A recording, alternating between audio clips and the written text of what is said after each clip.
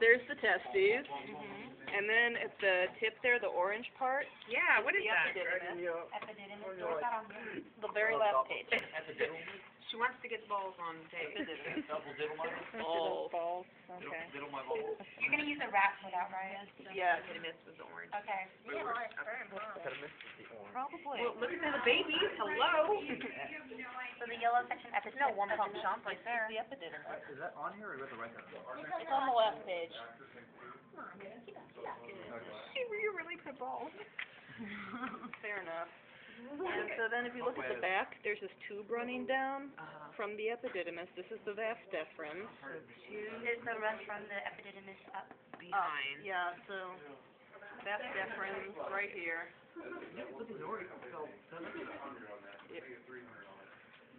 And then the seminal vesicles. So there's these two things here that look